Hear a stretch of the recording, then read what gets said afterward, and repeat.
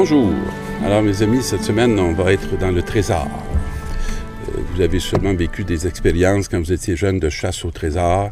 C'est toujours une grande joie que de découvrir ce, fameux trésor qui, remplit notre cœur de désir et qui, euh, et qui vient aussi souvent nourrir notre imagination.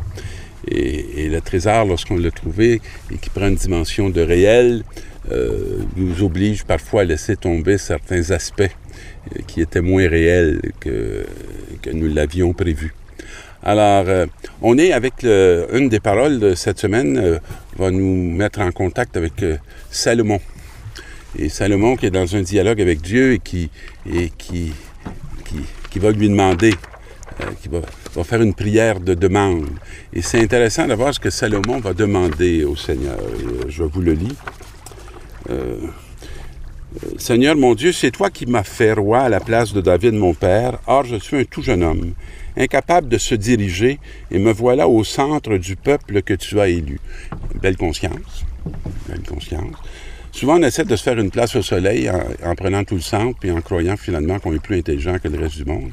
Mais l'attitude que vient d'avoir Salomon est une attitude très ajustée. Et euh, alors, donne à ton serviteur un cœur attentif pour qu'il sache gouverner ton peuple et discerner le bien et le mal. Grand défi pour notre siècle, discerner le bien et le mal. Je suis souvent indisposé par cette capacité qu'on a de, je dirais, de faire que tout se trouve au même niveau tout se mesure à l'angle euh, de l'individu. Or, je crois que dans le réel, il y a des gestes qui sont bons et il y a des gestes qui sont mauvais. Si c'est ce que tu penses, fais-le.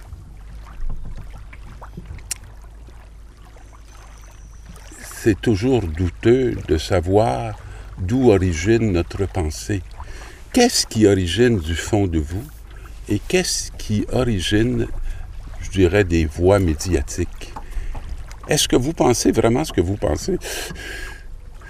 Et est-ce que ce que vous pensez pour les autres, auriez-vous le goût qu'on l'applique pour vous-même? J'aime bien savoir ou essayer de discerner ce que pense Dieu, ce qui m'apparaît beaucoup plus important euh, il m'arrive dans mon ministère de rencontrer des gens euh, qu'on qu'on nomme malades mentales. Et euh, pour moi, la maladie mentale euh, n'existe pas, euh, euh, je dirais, de façon tout à fait désincarnée, tout à fait décrochée d'une histoire.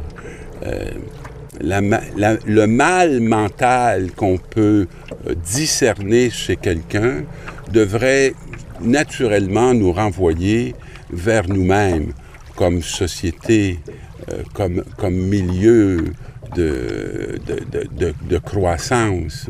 Et, euh, et quand on, se on rencontre une personne qui est diminuée, on peut facilement se prendre pour celui qui peut la réorienter, la, la resituer.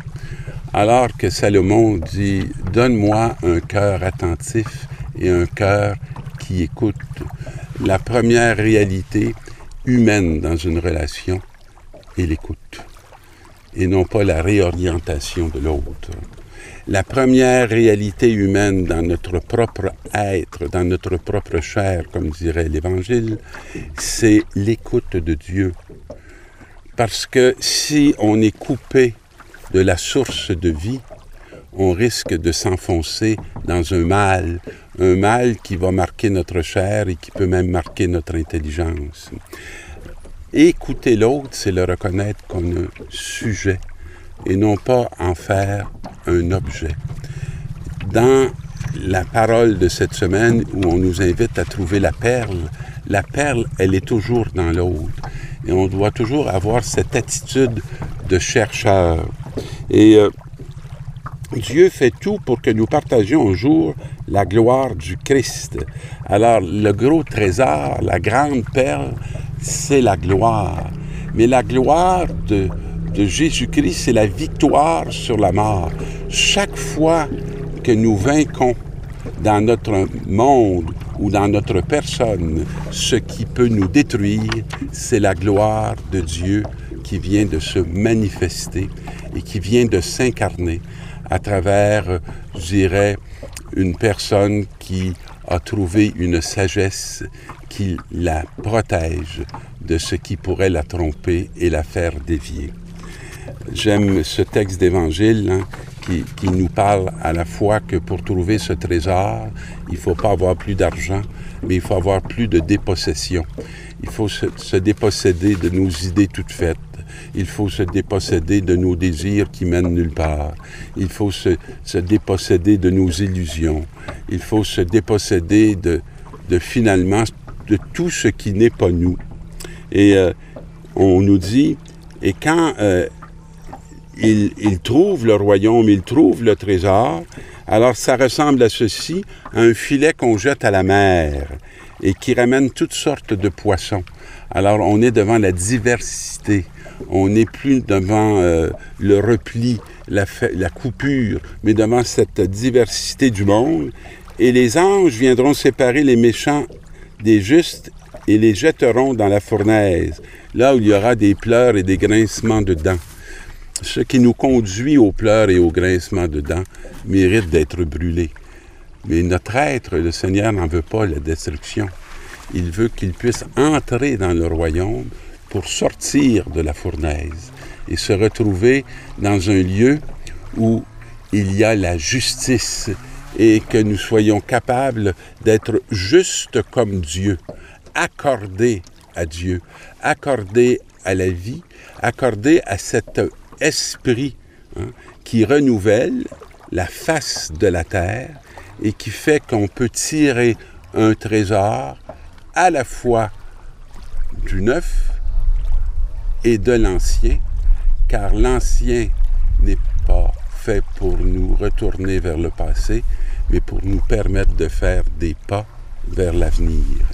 Alors, de cette mer de Galilée, je vous invite à jeter les filets pour que vous puissiez trouver cette abondance et cette diversité à trier. Bonne semaine, mes amis.